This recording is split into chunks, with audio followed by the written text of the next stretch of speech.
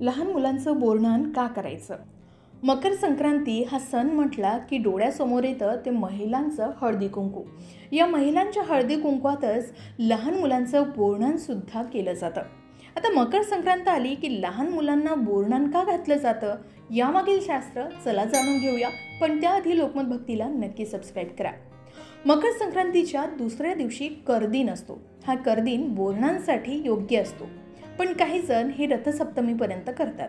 एक वर्षाच्या मुलांपासून ते पाच वर्षाच्या मुलांपर्यंत बोरणान केलं जातं.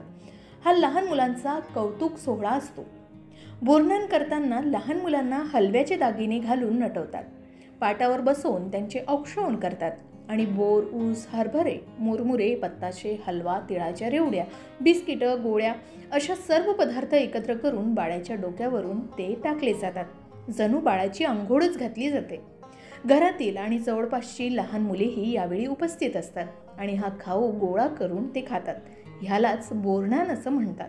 त्या करी राक्षसाची वाईट दृष्टी आणि वाईट विचार मुलांवर पडू नये त्यासाठी सर्वात आधी बाळ श्रीकृष्णाचं बोरणान केलं गेलं.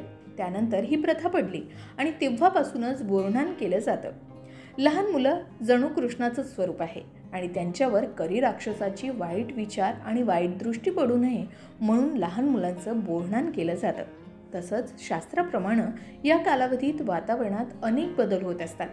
लहान मुलांना या बदलत्या ऋतूची बाधा होऊ नये म्हणून या काळात मिळणारी फळे मुलांनी खावी म्हणून त्यांना मज्जा म्हणून अशा प्रकारे वेचून खाण्याची संधी दिली जाते. म्हणून त्यात बोर उसाचे तुकडे भिळमुंगाच्या शेंगा याचा समावेश केला जातो.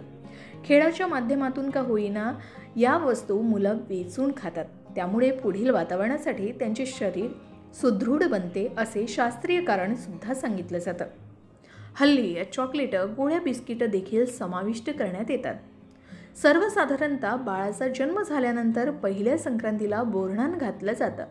शिशुसंस्कार अशी त्याची व्याख्या आहे. मात्र लहान मुलांना उत्तम आरोग्य लाभावं म्हणून बोरणान घालण्याची पारंपरिक पद्धत आजपर्यंत करण्यात येते. बोरणानासाठी कोणत्याही मुहूर्ताची गरज भासत नाही. थोरा मोठ्यांचे आशीर्वाद आपल्या लहान मुलांना मिळावेत आणि पालकांना त्याच्या आरोग्याची पुढे नीट काळजी घेता यावी यामागे हाच हेतू असतो. घरगुती पद्धतीनं तुम्ही सुद्धा हा सोहळा करू शकता. अनेक स्त्रिया बाळाची बोरणान आणि सोबतच हळदी कुंकू सुद्धा करतात. जर तुमच्या बाळाची ही पहिली बोरणान असेल तर या तयारीसाठी काय काय लागणार? नीट ऐका. मकर संक्रांतीसाठी काळ्या रंगाचा वापर करणं शुभ मानलं जातं. त्यामुळे बाळासाठी काळ्या रंगाचा ड्रेस म्हणजेच मुलीसाठी फ्रॉक आणि मुलांसाठी कुर्ता असा आणावा. आता बोरणान कसं करावं? तर कुटुंबातील थोरा मोठ्यांना बोलवा कुटुंबातील महिला मंडळींना बोलवा आणि शेजारील महिलांना सुद्धा बोलवा. यासोबतच लहान मुलांना सुद्धा आमंत्रित करा. बोरनानाची सर्व तयारी झाली तर पाठ ठेवावा त्या बाजूला रांगोळी काढावी आणि आपल्या बाळाला त्यावर छानसं सजवून बसवावं. त्यानंतर बाळाचं औक्षवण करावं. मग बाळावरून बोर करवंद चॉकलेट्स तिळगुळ फुटाणे उसाचे तुकडे कुरमुरे एकत्र डोक्यावरून हळूवार ओतावे हे ओतलेले पदार्थ लहान मुलांना गोळा करायला सांगावे.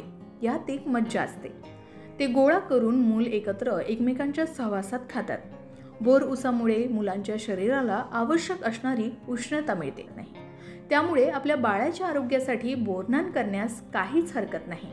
तर मंडळी लहान मुलांचं बोरनान का करायचं? यामागील काय शास्त्र आहे? आणि बोरनानाची तयारी कशी करायची?